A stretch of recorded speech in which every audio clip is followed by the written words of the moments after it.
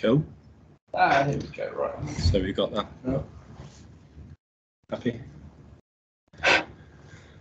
Um, yeah. So I am an electronics design engineer. Uh, I have been through some of the LabVIEW training. I did the C- CLAD, I think, maybe four years ago, but haven't really, don't really have any formal use for LabVIEW. Um, and so I've recently done this kind of little project to automate some um, analog front end testing. Um, it was to help out a colleague on, on the project that been working on, which is now called Solstice, used to be called CubeMap.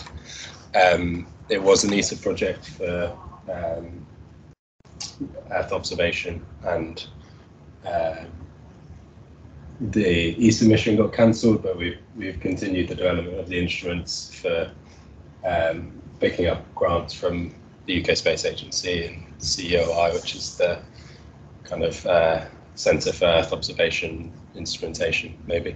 Um, so yeah, that's the, the, the instrument development work still ongoing, and this analog front end electronics seems to be the most complex one. Um, and so yeah, um, I was going to talk about kind of motivation for doing this, uh, what the test looks like.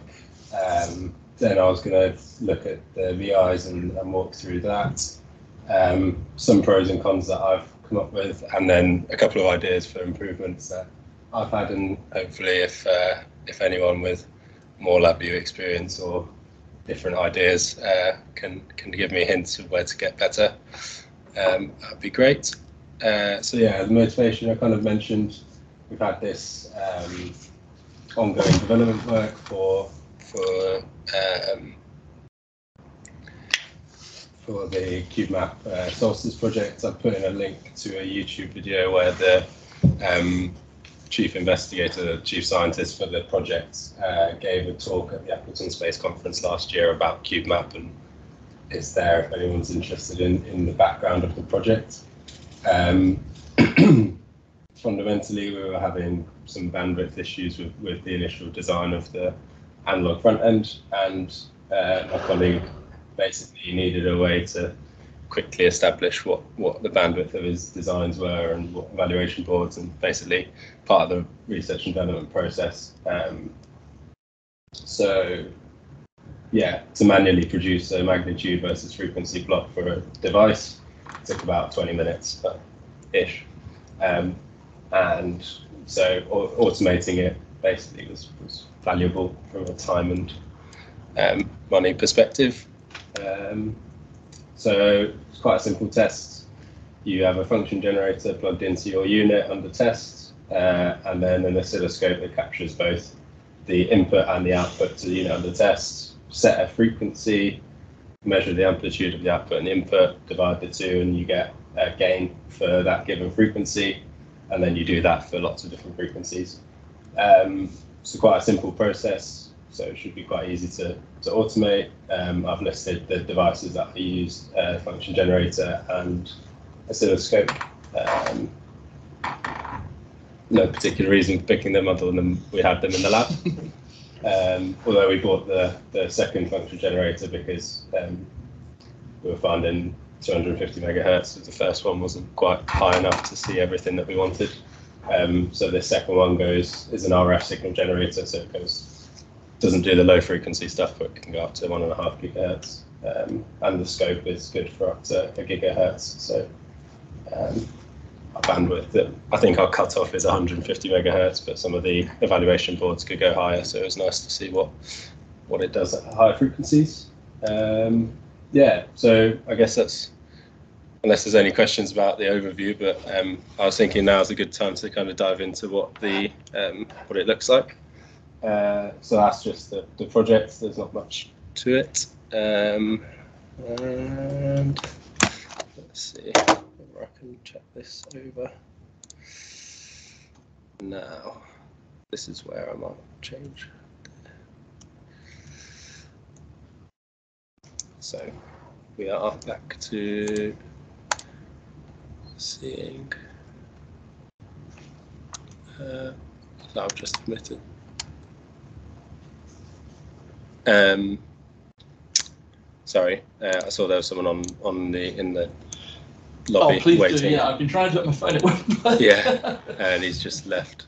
Um, yes, so the project is fairly small. Uh, the top level, so I've got two top levels. One when I for for the different function generators. Um, that just seemed the quickest way to to do what I needed to do. I don't I don't know whether there's a, an easier way to make it so you can pick which function generator to use, etc., and then use the different VIs behind it. So front panel is fairly simple. You you kind of go, uh, you find your resource. Um, so at the moment I'm not plugged into anything, so I'm not seeing much. Um, so this is the default IP addresses, so they're they're connected to the network. Um, you select what your frequency test frequencies will be. So I've got this. You can either go give me uh, start frequency, stop frequency, and the points per decade, uh, and it will calculate a set of test frequencies, or you can give it a um, a text file input, and it will read um, from that list and test at those frequencies. Um, yeah, uh, and then the only kind of front panel controls that we've got is um, to set the amplitude of the um, function generator output and how many waveforms to average for each um, measurement. Uh, that's, so that's a scope setting, and then the amplitude is for the function generator. Um, and then as it cycles through, you'll see, I think I've got this picture here, which shows you what it looks like after. So yeah, this is the test setup. I ran it this morning and it seems to still work. So we've got the oscilloscope and the, the RF signal generator. And then the, the LabVIEW on screen, you can see uh, I've got a screenshot here. So this is once it's run, you'll have uh, your waveforms from, so your oscilloscope uh, shot essentially uh, and then once it's finished running the test, it will output the Bode plot here. Um, and you can kind of, well, at the moment we just use it as export, right click, export to Excel, and that's about that's about as complicated as the logging gets. Um, but yeah, so it's a nice vision. Yeah, we've got the, the graphs there to show you that it's kind of working and it matches what you're seeing on on the scope. Um, I don't envi- well, we've never used that as a remote test thing. So you've always got the scope in front of you and, and things like that. Um, yeah, so getting into the block diagrams, I think I may have used uh, the new feature of zooming, which I didn't know was a thing until recently. Um, but yeah, so to start with, uh, you kind of generate the test frequencies. So um, depending on what tab control, which tab you've got set, it will either generate use this function to generate some test frequencies, which I can't remember where I got it. I think I had that from a previous thing, um, but it's uh, yeah, generate uh, equally spaced or logarithmically spaced um, numbers for for the start and stop range. Um, uh, let's see, that will just output an array, um, so you can kind of use that to produce some numbers if you want um, or you read a text file. Um, so when the user inputs a text file, I've got all the debug stuff out because I didn't really know how that worked, and then it started working, so I haven't cleaned it up. Um, yeah, so it basically needs a very simple text file where you've got a number down one column. Let's see if I've got one of them. Uh, text file looks like that, and that's what I can read. Um, it it's not very robust, so if you feed it something different, I don't know what will happen, but uh, it kind of it did the job. Um, so yeah, we can see what that that'll give us a little run. There you go. File. That's a very short file, and it gives that to the to the top VI. So you've got our test frequencies, and then um, with the Tektronix uh, devices, uh, they used their kind of plug and play um, LabVIEW library and found that um, I had to pull out the initialize communication link outside of the main loop um, because it was crashing a lot because it was very slow to initialize the link and then do the measurement and then close the link and keep doing that over and over again. And I found some timeout errors. Um, whereas the TTI um, function generator didn't have a plug and play thing. It had an IVI com library. So I found this was this was working with just uh, the initialize and close inside the loop. Um, and so I didn't think too much about that. Um, but yes, uh, we'll go run run through the main functionality first. So you in, initialize the link with the with the oscilloscope, and then for your te- so this um, for loop is kind of driven off the test frequencies uh, array.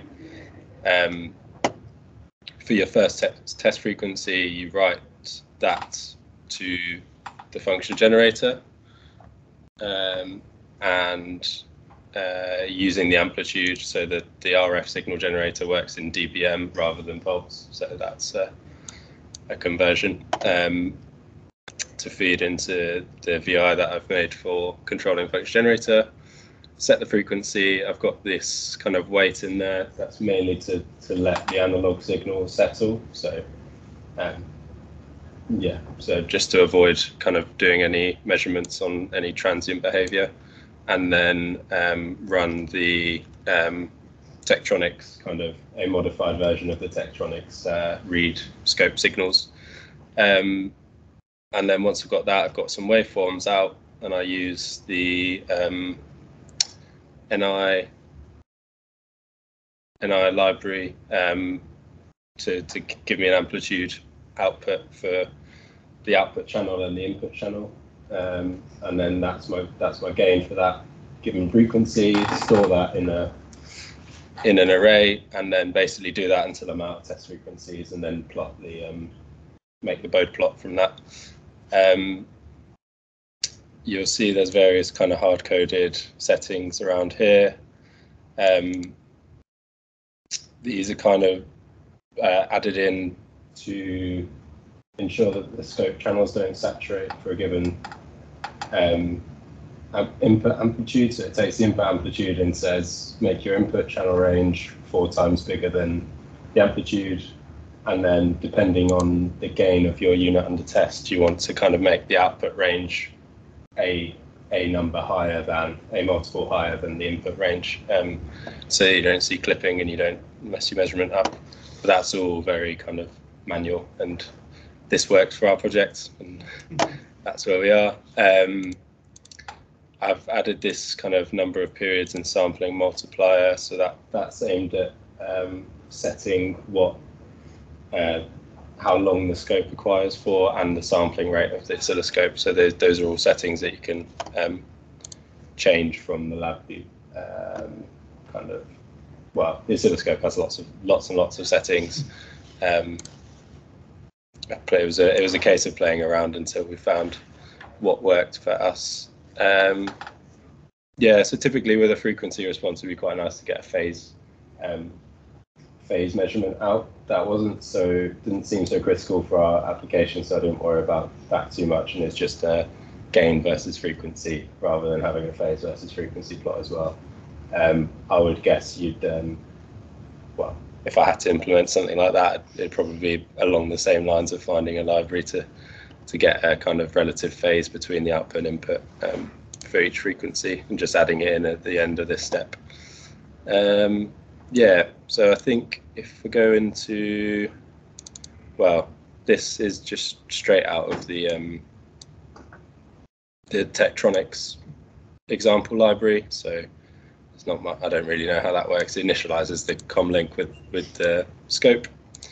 Um, the fun- I flashed this up earlier. Um, I've never used IVICOM. Seems quite easy actually. Yeah, I was it was daunting to start with um, because I was used to having the Tektronix library where they give you a VI and you you can just pick run it run it run it as an example. Um, but the the function gen- RF signal generator didn't have such an example. But I, I found a quite handy guide on how to do that. Um, and feels feels better than the plugin play VIs because it I don't know it seems to run more smoothly and I'm in more control of. I feel like I know what's going on behind the scenes rather than the plug and play VI, which um, is doing lots of things I didn't really take the time to understand. Um, I think the, the only clever thing I do in here is um, I didn't find a way to set the RF output to be enabled, to enable the output channel. Um, so instead, I found this read back whether the RF output is enabled and then um, tell the user or throw an error um, if the RF output's disabled because if there's no signal going into the unit under test, then your test is pointless. So don't carry on. Um, yeah. Um, So they would have to turn that on on the instrument first. yeah. So so I don't know if I've got I haven't really got a photo on it, but you um you kind of have to press output enable before you try and remotely set the frequency and the power level. Um, so yeah, this kind of prompt. I think my error message kind of tells them to do that. Stupid question. Yeah. That property you're reading, that's not Yeah. a read and write property. Uh, I don't think it is. No. Okay. yeah. Um, uh, can't remember what. yeah, some of them will tell you you can change it to a write, but it will throw Yeah. an error if it's not actually. Yeah. So if I change change to right, uh, I can't remember what. Um, uh, So you, you, you might be able to just toggle that on via software. Yeah. Some TTI instruments have, you need to access this setting via the, the button on the hardware. Yeah, I think I think I did look around for a little bit and thought that this way was easier than trying to battle with. If, if it was a tool to plus, the it'd be user great. anyway. so- yeah, yeah.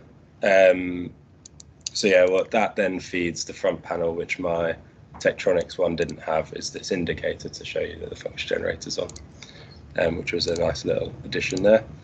Um, and then the read channels, this is kind of shoehorning what I wanted to do into the LabVIEW example. Um, so this one, because it doesn't have an initializing close in it, you can't just run it on its own. Um, but the example I took did, and you could just run and capture one waveform and then move on. So that's where I started, um, and then added in a bunch of other kind of um, settings that we needed. Um, as I said before, there's lots and lots of settings on an oscilloscope, um, all of which can kind of make make your make your signal look weird if you if you've got it wrong. Um, yeah, there's stuff like trigger trigger coupling, edges, level, acquisition types are different, but um, yeah, block diagram kind of it's not the most pretty, um, but so it, it is kind of hard coded from this VI, which which oscilloscope channel is your output and which oscilloscope channel is your input. And so it would require the user to go in here and say, oh, I've plugged the output into channel three, um, and then kind of save that and then run the top level to get your Bode plotting right. Um, that's one of my uh, improvements that I'd like to pull out maybe all of these settings and have it in a in a com- configuration file essentially because with so many buried settings in this VI, it makes it hard to run the same test again, knowing exactly what your settings were and um, things like that. And so it's led to a little bit of confusion, but not enough for me to have to um, change this. But I think if if more people start using it, it's- or we start using it for more formalized tests, it, it would help to have. There are Have VIs that that can take an entire front panel and Yeah. save a big file. Oh, really? and Send it from it. That would be a very quick way. Oh, nice. Um, cool. Um, do you know what it is? Uh, I'd be interested in that. I'm not sure, I've not used it. NPI, I think that one. And OpenG. Okay, I'll go look. cool. But it's- I think you block drop something, it just, it just finds every control and then just presses the file. Or Uh, give it a file, we'll find the names and match them up with all the control names. and like, like uh, any file XML. it's fine. Yeah, if you need them about. Cool. There you go. That's one of my improvements that, uh, that I have. Um, I'm not sure what else there is to say. Really, it's all quite. Um, it's basically everything that you can do with an oscilloscope. You can do through the LabVIEW. Um, so we've got uh, configure acquisition digitizer. So this is where I write the sample rates, and um, that goes from this sampling multiplier um, control that I showed earlier, or that I spoke about earlier, um, and for how long to sample. Um, we've got then configure acquisition. Uh, this is where you either average or sample and uh, how many averages, um, etc. Then configure each channel in turn. So that's giving it a channel name and your the range that I was speaking about earlier. So your input channel has your um, vertical range one is your input channel range, and then vertical range two is your output channel range. Um, so yeah, I don't think I think this is as low as I got in terms of um, messing with the Tektronix uh, plug and play um, VIs. Uh, configure time base. Um, that's to do with triggering. Um, I think. Oh no, no time base. I think that's just hard coded. At one point, I may have thought that was that was uh, something we needed. Um, actually, that's right. When you're watching the scope go, uh, the time base doesn't change. Um, so I don't know whether that on that photo that I had up. Um, yeah, where is it? Oh no. Ah, no. Sorry. Oh god. Um, ah, for all the different frequencies, basically, it'd be nice if the scope would change the time base, which is maybe where that that setting is. Um, so maybe I can use that control. Um, configure the, the trigger, and then this is the um, read multiple waveforms um, uh, VI, which I think does the most of the work. So once you've configured everything, that's what reads out your data. Um, and then there's kind of sim- the, the inbuilt error handling and things from those VIs um, that just feed through. I have noticed that it, it seems to struggle when you give it kind of tens of hertz as a time. I think the acquisition might take too long, and then there's some timeouts that I've not quite um, worked out why. Um, but my colleague did say that he, was, he kind of did some sweeps at lower frequencies and it kept giving him errors. So I kind of told him to stop wor- worrying about the lower frequencies uh, rather than try and fix the error. Um, yeah, so I, I think that's it. Um, the Tektronix uh, function generator works is quite simple. The function generator is much more simple than um, oscilloscopes in the way that I'm using them, uh, which is essentially set a sine wave. Um, so that's the block diagram for the. Uh, I don't think I. Well, I, I think I just took out the initialize and the close from the, the main example of set sine wave. Um, and so that's again just kind of configure waveform and then enable it. Um, so yeah, there's not much really to be said about uh, the Tektronix example versus the TTI one. Um, TTI was more interesting for me to set up, um, or more involved for me to set up than the Tektronix one. Um, yeah, I think that's all of my VIs in uh, whistle stop way. Um, don't know if there's any other questions before I move back to the presentation on the VIs while I'm there. No. Cool. Um,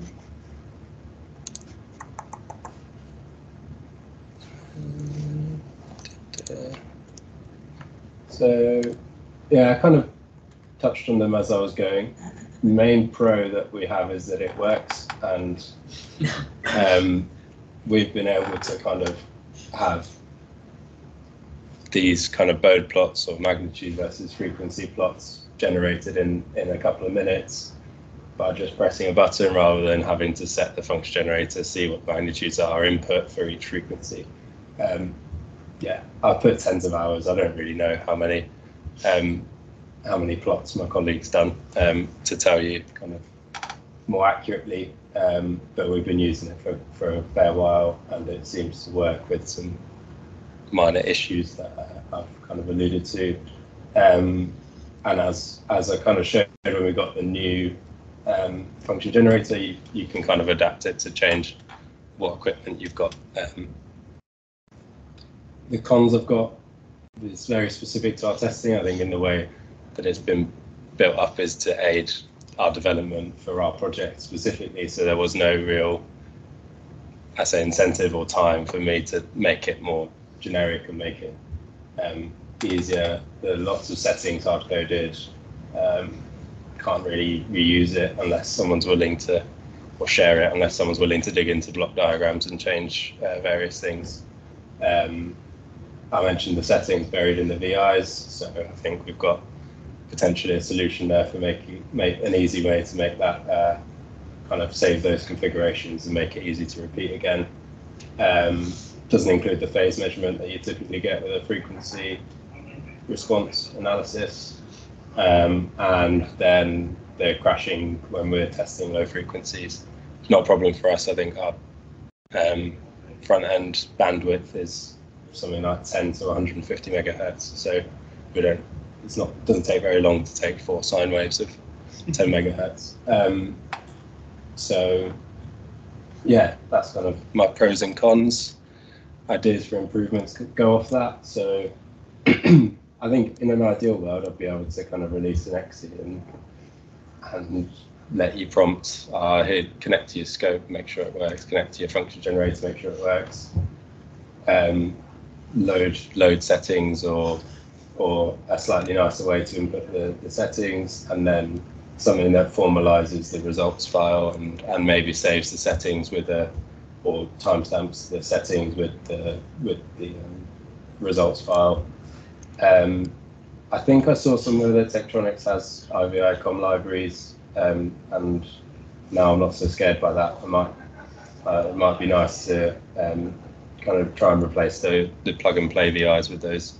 Um, seems to be more efficient from what I've seen. Um, I don't know if that's true or not, whether I just got lucky. Um, and then, yeah, I don't know if there's any from the room. That's that's basically the end of my presentation. And um, yeah, on for questions or ideas. Be much appreciated. The, the com libraries, some that was to more than this.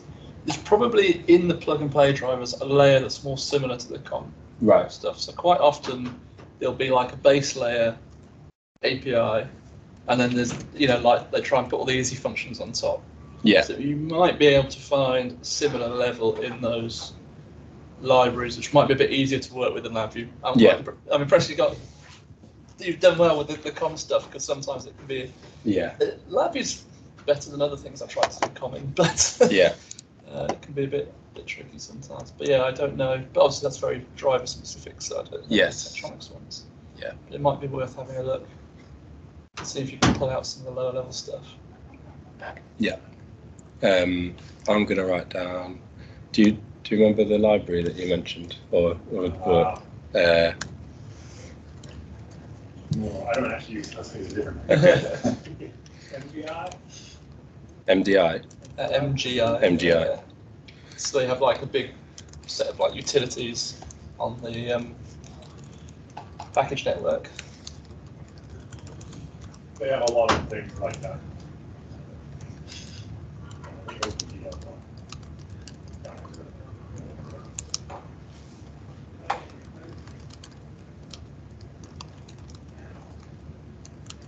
The the basic thing, there's a, a property of a PI where you say, give me all the controls on the front panel. and Yeah. References. And then by reference, you can say, what's the name of this control? Yeah. What's its value? And you can s- do Store it. whatever, save it, Yeah, yeah. and load it. And that's, they package that, but they can also go through tab controls.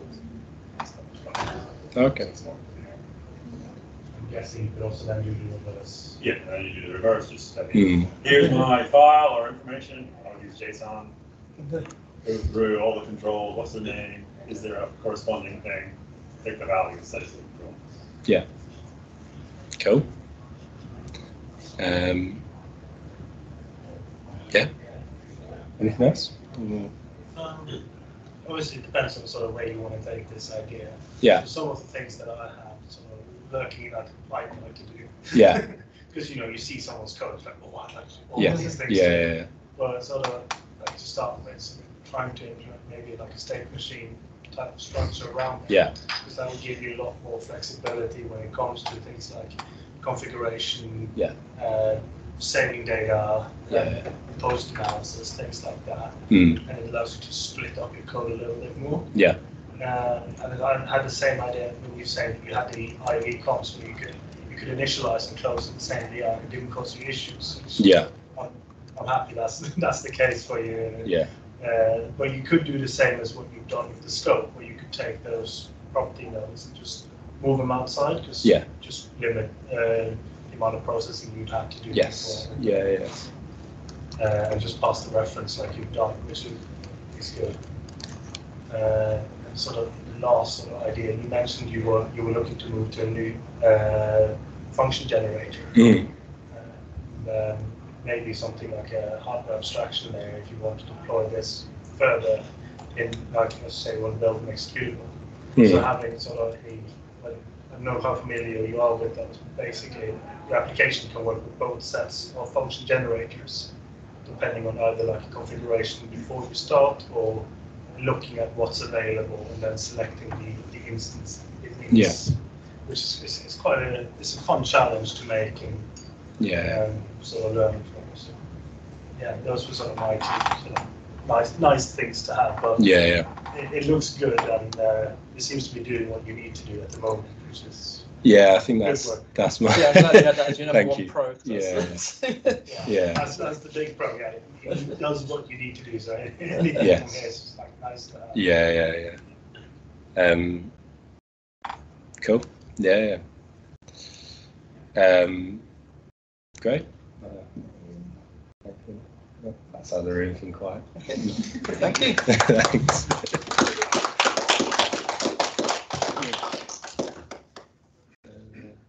Back to you. Yeah.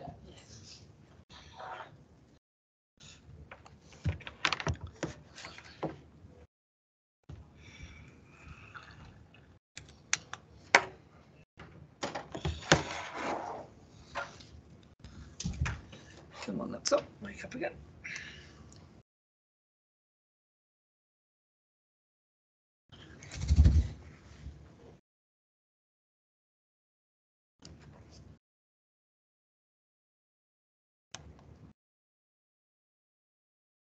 There we go. Oh, it's just powered itself off.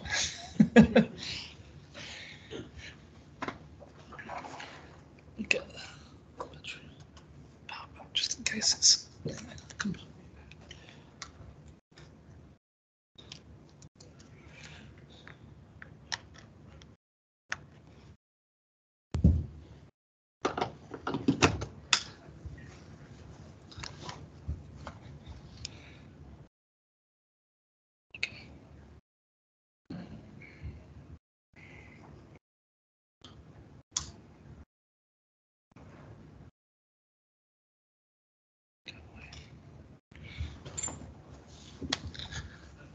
Perfect.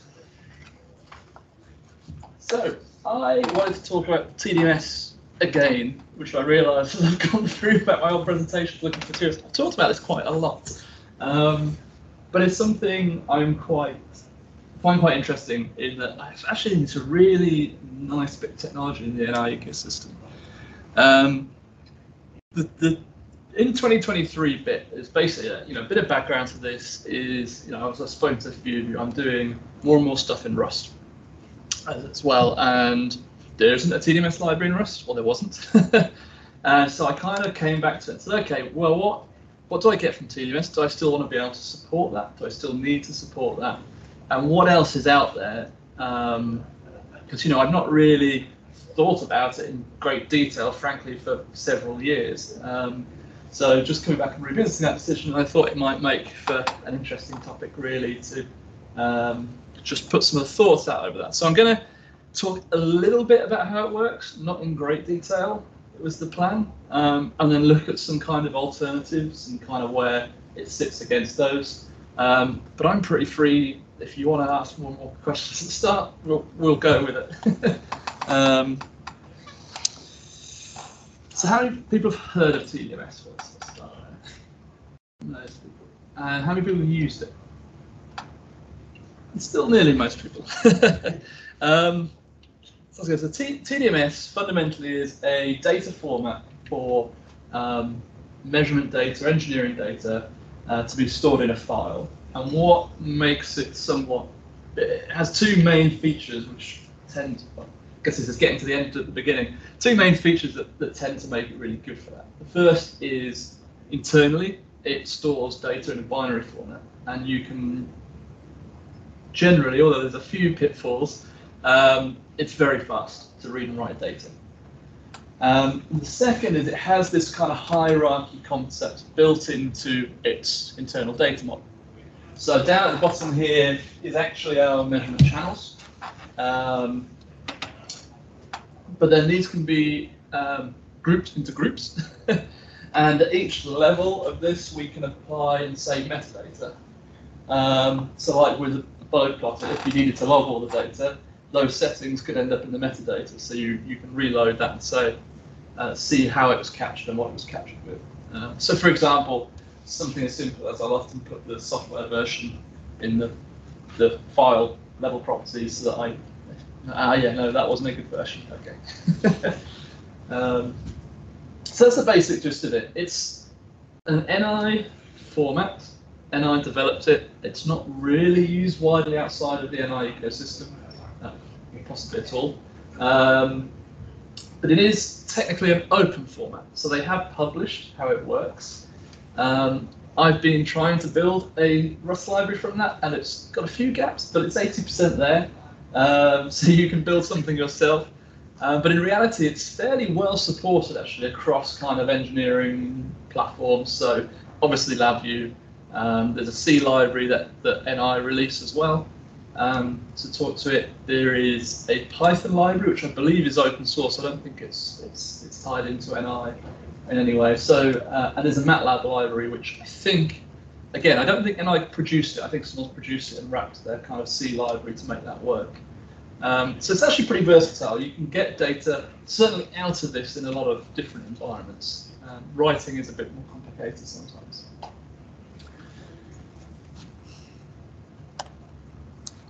Um, and this is its trick. So this kind of started, I don't know the exact history, but there was a format, and there still is, but I've never seen anyone use it, called TDM, which is Technical Data Management.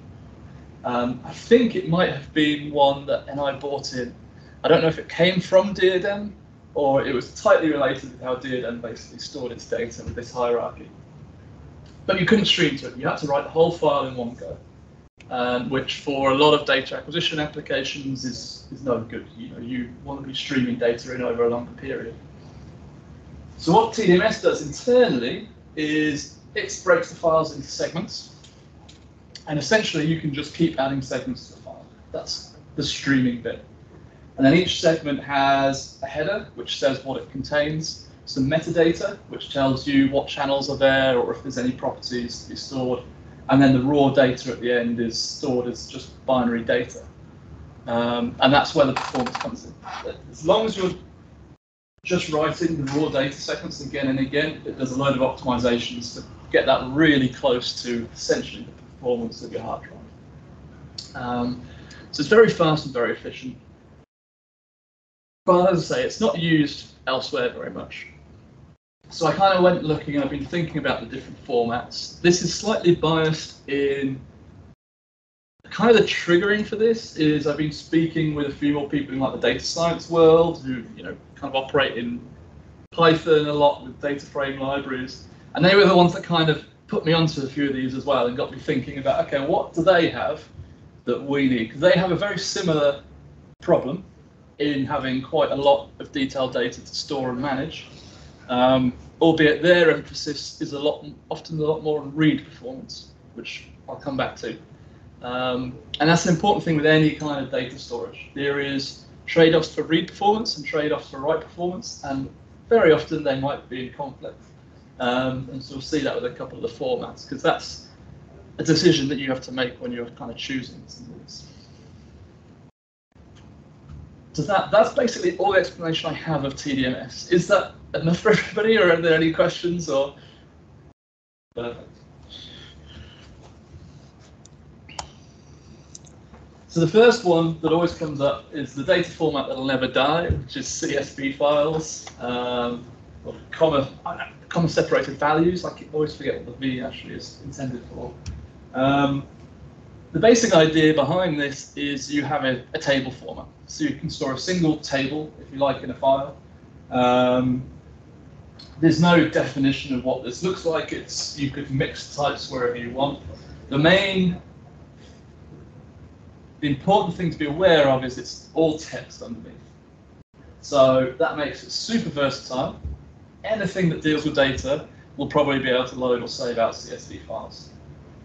But it is very ill-defined as to how you store data.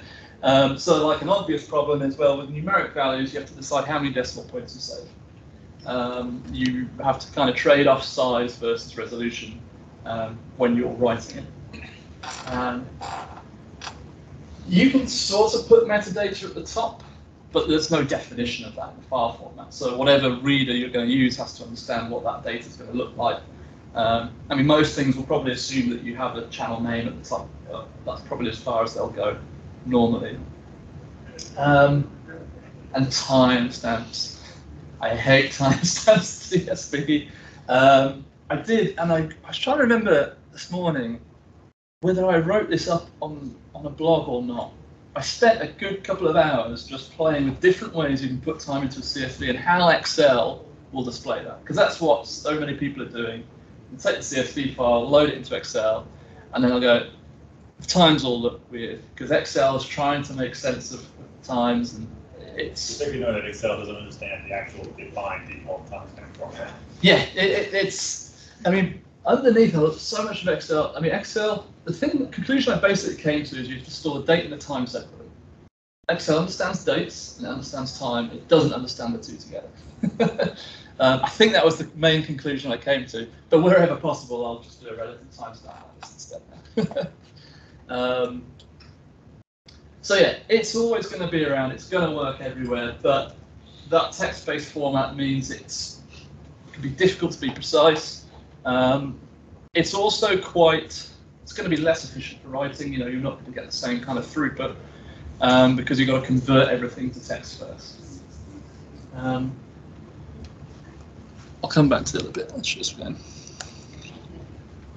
So this was a new one for me, and I've never heard this referenced in the NI ecosystem um, much, and that's called Parquet or Apache Parquet. Um, this is really heavily used in the data science ecosystem. This was kind of what triggered a lot of thinking around this. What does this look like? So this is a an open format defined, well, or just part of the Apache Software Foundation now. I don't know quite what the history is behind it. Um, and this literally came from, I was chatting to a guy and I was talking about one project. It's Like, yeah, we've got you know all this IoT data basically that we've got to archive for years. So you should look at Parquet files. I said that's what they do he said, for example, in banks a lot, you know, after transactions get to a certain age, they'll put them into Parquet files into an archive. Um, and they're common enough that a lot of storage formats understand them. So if you're working with cloud storage like S3 on AWS, you can actually query directly into Parquet files without having to actually load the whole file into your software and, and do that. So it's really well supported and you know, if you've got people doing data analysis with stuff like pandas in Python, it'll know how to load these and work with these. So it was kind of interesting, and I, I wanted to dig deeper into it. Um, basically, it's the same data structure as a CSV file, in that you're storing a table in a file, as far as I can understand. Um, so it doesn't really solve the metadata problem. But what it does solve is a couple of things over CSV. The, the first is everything is stored in a binary format and the types are defined. So you've got um, more precision and more performance than you'd have with CSV. The other is it's optimized for what's called column layout. So what that means is CSV, you write it in row by row. And so you end up with something like this. So if you've got column A, B, C in row one, two, three, four, five, you write the whole of row one, then the whole of row two, the whole of row three. And if you're streaming into a file, that's the way data's coming at you, basically. Um, so it tends to be the way things are written. When it comes to doing analytics on that file, quite often uh, what you're going to be want to do is pull out a column at a time. And what that means through this format is you have to kind of skip through the file, you know, without getting too much into the nitty gritty of, of, of all the underlying stuff. It probably means effectively you're reading the whole file from disk. Um, you might be able to jump depending on sizes, but um, you're doing a lot more work. The first rule of optimization is just do less work in the first place.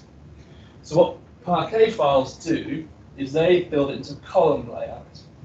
So instead of storing every row together, it stores every column together.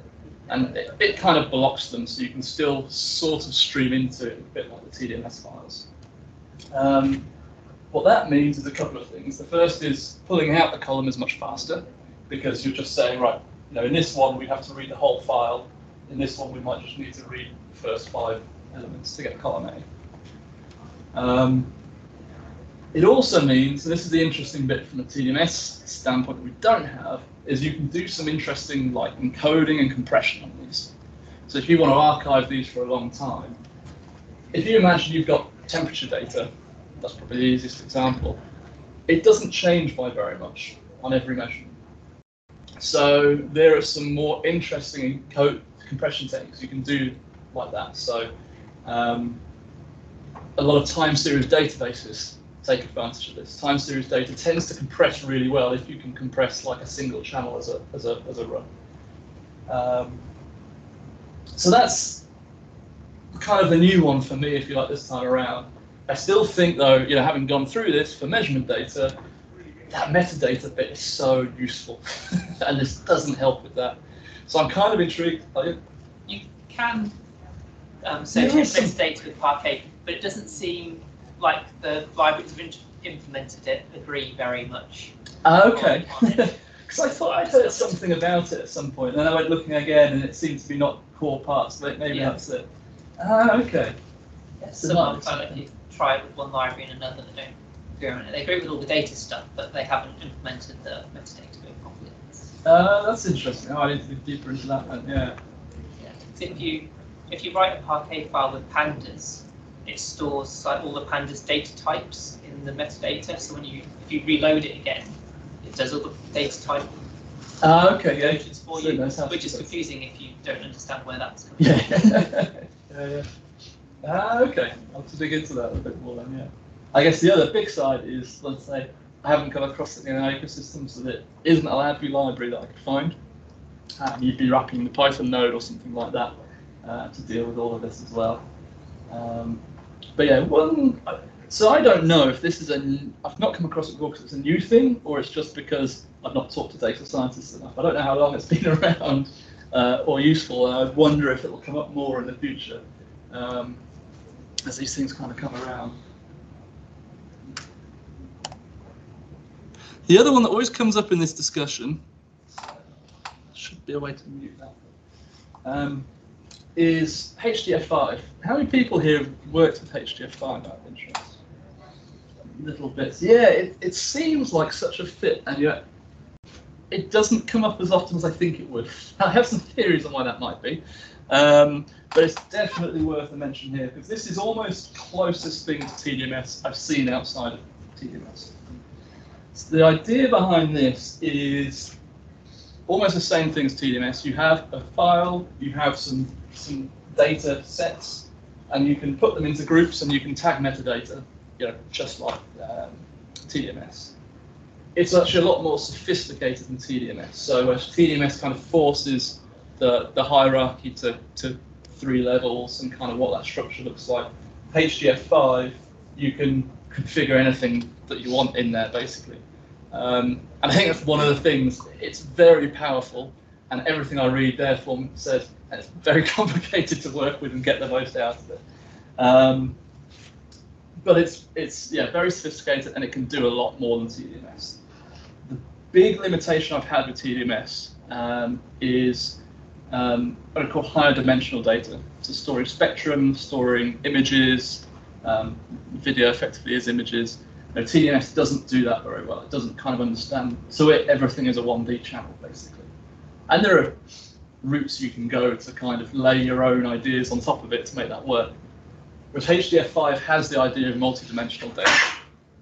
So I think that's where I would definitely start looking to reach this a bit more in the future. Is if I've got okay, I've got my measurement data and I've got images, or I've got spectral data that I need to store as well.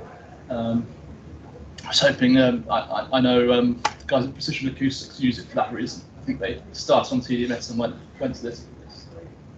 The other big downside I found, not big downside, it doesn't naturally have a streaming interface. So it's a bit more designed as kind of an archive, archival things maybe the wrong phrase, but um, a bit like the original TDM format, you just push everything in. But there are ways to do it. So there are ways to say, oh, this space is expandable, and um, but again, this is where the complexity comes in. it's not kind of its natural way or immediate way of being used, so you have to kind of understand how to do that. Um, it's much easier to use if you can say, right, I'm going to have 10,000 elements, set aside a space for that, and I'll, I'll fill it up. Um, but yeah, it's, it's one I really need to sit down and actually try a real application in. I've never used it for a real application. Um, and it does have some nice features. Again, it's very widely supported across engineering platforms. Um, you know, probably not quite as much as CSV, but um, you know, MATLAB, Python, things like that are all going to support this pretty well. There is at least one LabVIEW library for using this. I think there used to be more, um, but they seem to have fallen by the wayside a bit. Um, and they all basically wrap one C implementation. Again, I was kind of looking for what's the downsides. Found a lot of forums basically saying it's too complicated that no one can face rewriting it again. So there's like one implementation everyone uses and just accept its quirks basically. Um, so yeah, that, that's um, one that, that I need to look at, that a bit more. Um, and I think for me, it's that multi-dimensional thing. If it's just 1D data, I'm kind of happy with TDMS because of this, it's just so much simpler to work with. Um, but if you deal with, with big multi-dimensional data sets, yeah, you can see this would be more appealing. Um, so speaking of, I guess, getting more complex, maybe in, in a sense, um, the other one I have actually used is SQLite. Um, so James here has uh, very kindly built a very nice library for LabVIEW to work with, with SQLite. And if you haven't come across it, SQLite is a database in a file, basically. So it's kind of relational database concepts, but you can put stuff in a file. And when I mentioned earlier about kind of coming across problems with TDMS with spectral data, this is where I went next in that project. So in that project, I store it all into a, a SQLite file. I just give it a different extension.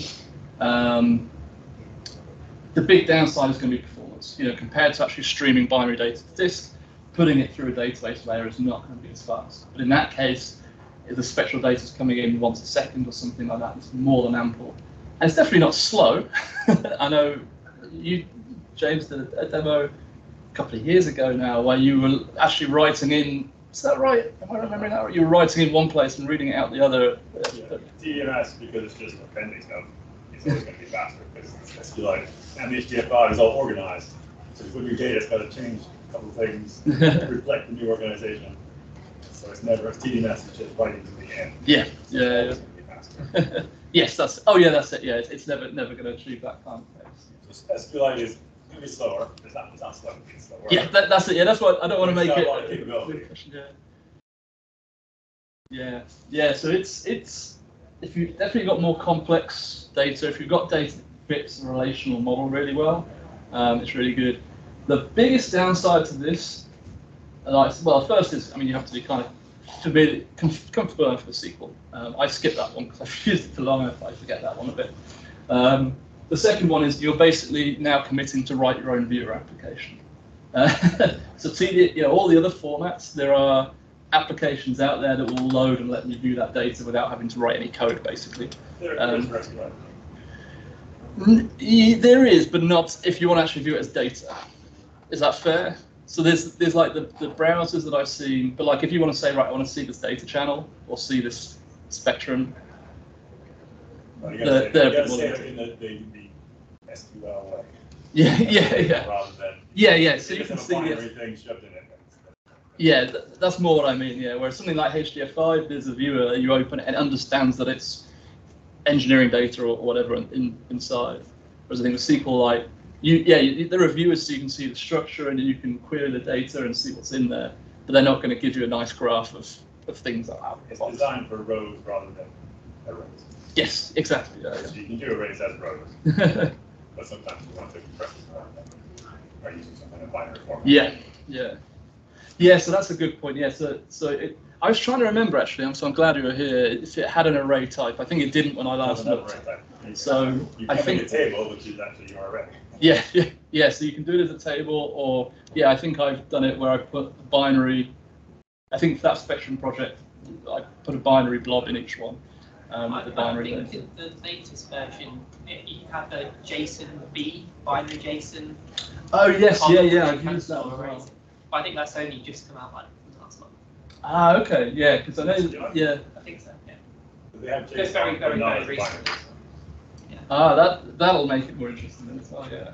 So JSON B is like a binary representation of JSON data. Um, so it will be faster and, and a bit more compact than, than JSON.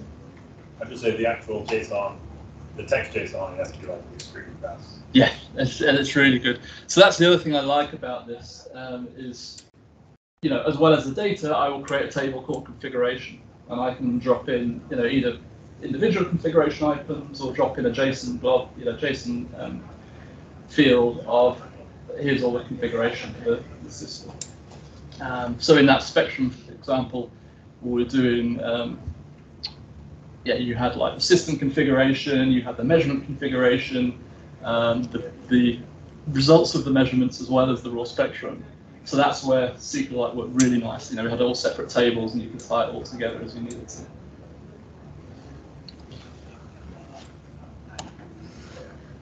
So that was my exploration. and I still came back to TDMS. Uh, but obviously that's a broad generalization. And as I've touched on, I've, I've used most of these in anger at some point. So uh, TDMS isn't the one king to rule them all by any means. And I think what I wanted to give you is a sense of there's an ecosystem around this and there's, there's decisions to be made based on the performance and the structure of the data that you need. Um, but TDMS is far from aged in any way or anything like that. It's still very high performance. It works really well with modern hardware. I haven't done a test on this, but I think actually TDMS has probably benefited hugely from SSDs um, because certain types of queries through it require quite a bit of random access. Um, I think some of the quirks of the NI's TDMS library are probably optimizations for spinning disks. I've not quite worked this out because I've been writing my own library. You know, one of my questions has been, well, what do I take from how NI have done it versus starting with fresh, what do I do differently? And so like the, it creates like an index file, which uh, I, for a while it's been a bit of bee in my bonnet of don't see why I needs to do that. so I haven't done it, but I can see if you had a spinning platter disk, because it, it, it would be a much faster way to go and access that data, for example, um, and you'd need to keep less data in memory. So there's some interesting artifacts from its age, but I think it's still very relevant and very good for you know, a lot of the type of measurement data that, that we, we work with. Um, it'd be interesting to see if you could ever apply, apply like compression ideas to it. Um, although I'm not sure how relevant that would really be for a lot of what we're doing. Um, obviously, for our you know compression of CPU versus disk performance and, and, and cost. So you know I think that becomes relevant when you want to store it for a long time. You're going to save a lot on disk. Um, but you pay for it. You have to compress it as you write it. You can be less flexible in some of the, the optimizations to disk that it makes, basically. Um, but yeah, I'd be interested to see where you can take the format because I think it is, yeah, it's a really powerful format. Um, and yeah, so I mean, the decision I've made is yes, I've started building a Rust library. I'm very pleased with it. It's nearly there. Uh, it's very fast, and uh, I will be continuing to use it in a lot of projects. My next kind of project with this now is going, okay, well, how does this, how does TDMS integrate into the cloud? Like, are there any clever things you can do with it with S3, or do you just treat it as a file with S3? And, and, and yeah, I've got a few ideas around that. Whether I'll ever come to get to it, I do not know. um, any questions? I realize that's a skim over the top, so if you want me to talk any more detail on anything, I can, or we can talk after. I have a question with like TDMS. With Rust, how do you do a UI in Rust? The UI in Rust. So I have two routes right now. One is called Tauri, which is um, essentially it's like Electron. You get a web view and you build the UI bit, bit in web technologies, and then there's like a communication back and forth. Um, there are a few libraries coming. One of the problems they've had with Rust is historically the way a lot of UIs libraries work is very heavily based on inheritance, and Rust doesn't have inheritance. so there are ports of things like GTK and Qt, but they don't translate very well into Rust. So I've also done some work. There's a library called eGUI, which for simple stuff is really nice. I don't know how it will work for more complicated stuff, but um, yeah, the web is my like fallback right now on that stuff. The Tauri stuff with a web view, still very lightweight. Um, I can I can do pretty things with that. So you have, you have an exe that you run and then you point to run, right? it packages it all up for you. So it's kind of like like Teams is an Electron. Well, actually, no, Teams is now using that same idea. It's not Electron, so it's an exe you run, and it uses um, the WebView component from the OS to, to drop in. So it drops that in, and then it has an architecture which basically says this is how you talk back and forth to it. Yeah. Any other questions? So much a question as a comment. Um, sort of touches on what you said about compression. I uh, worked on some TDMS data maybe two and a half years ago um, and had a sort of a legacy pile of data files that I was trying to write a Python program to do reporting. Um, and with that, I found it quite beneficial to basically compress, well, defrag the files Ah, yes, that's a so really good I, point. I just wrote some VIs that I think just read a file and then rewrote it. But instead of having many, many segments, I think it basically rewrote it as a single segment. Yes, exactly. And I exactly. think I got about, um, the resulting file size was ten percent of what it originally was. Yeah. And because I was trying to develop, uh, I was trying, yeah, I had an existing Python script that was reading these files and doing some reporting. Um, and, the, and the thing that sent me down the route of trying to defrag them was simply that I was trying to test the, the pro the Python script on say five weeks worth of data for like one of our user cycles. And it was really tedious to sit there watching it churning through all these files, but defragging them, as well as the sort of size advantage, it also made the performance of that churning an Yeah. awful lot better as well. Yeah, yeah, this is one of the big gotchas of TDMS. A lot of people have this problem because sometimes it's driven by your application as well. So yeah, I, I have an application, it's really slow data. So it's one bit every 10 minutes across loads of channels. And it comes in batches. So we have the same problem where, Uh, yeah, the, uh, it was probably similar. It was probably the actual data file was probably 10% of what was produced. Because TDMS is really fast when, if the metadata doesn't change, it can just append to the existing segment. So it becomes really efficient. If you're constantly changing which channels are written, which in LabVIEW also means changing the types of channels, because the LabVIEW API only lets you write one type at a time. That's one of the things I've got to work out a little bit in mine. Then you're recreating a segment every time, which means you're recreating segment header and metadata every time. And that has two effects. The first is exactly its size. So if this is relatively small compared to this, now the overhead of your metadata versus your actual data becomes significant. Um, and the other is performance, because now if I want to read one channel out, I have to jump here, here, here, here, you know, all over the file. Um, so yes, you can, The advantage of TDMS is when you're streaming once quickly, yeah, but then you have to defragment it to get better write read performance. yes, While something like SQLite, uh, assuming HDF5 is more doing that for you, because it's slower to write, but it's doing all yeah, that. yeah. Yes, like HDF5, you have to pre-allocate, so you can't.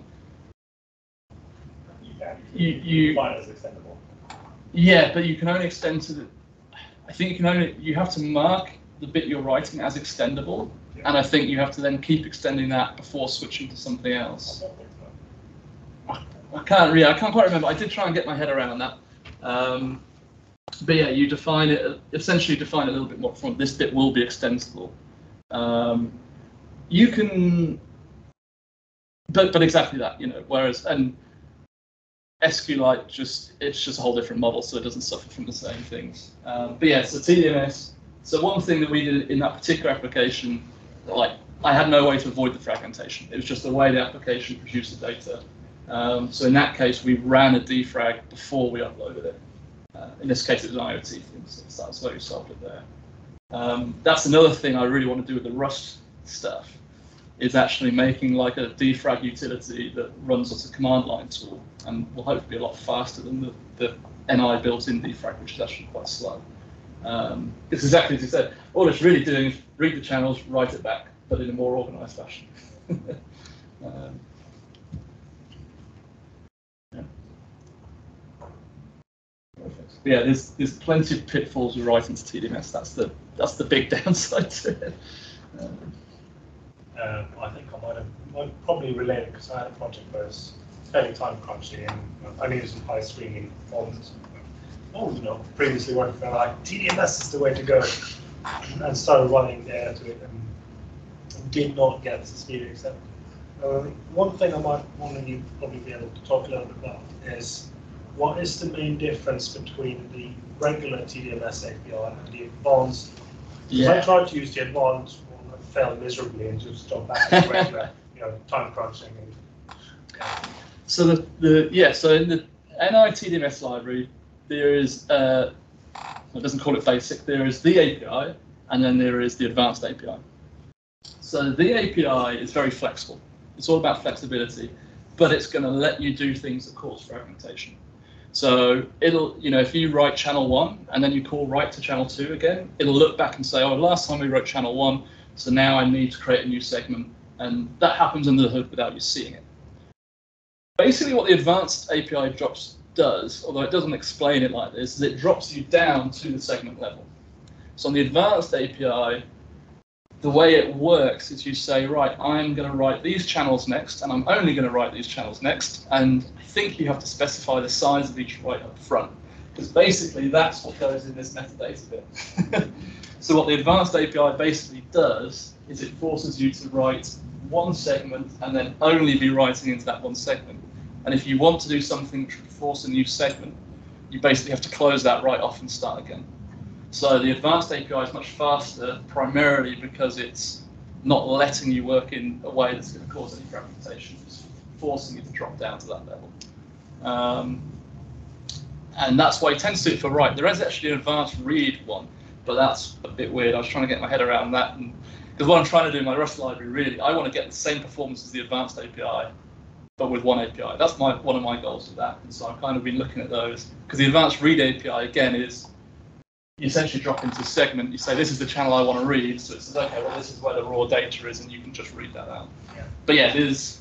So that that's the basic difference. The advanced API is I will force you down a path that I know will give you good performance. Under the hood, it's doing exactly the same things, um, but it's just a bit more restrictive. I know I understand everything but yeah, that, that, that's kind of been one of my things is how much can I, with a simple, with, not a simple API, with a single API, or how can I guide people to do the right things without it being, right, you're either doing advanced or you're doing standard. um, it's not trivial, but I have a few ideas. Cool. Well, thank you, everybody. Uh, we'll grab a coffee. Or how is that time? Lost track of it for time. Well, we'll grab a coffee and we can have a chat, have a discussion, see how we go.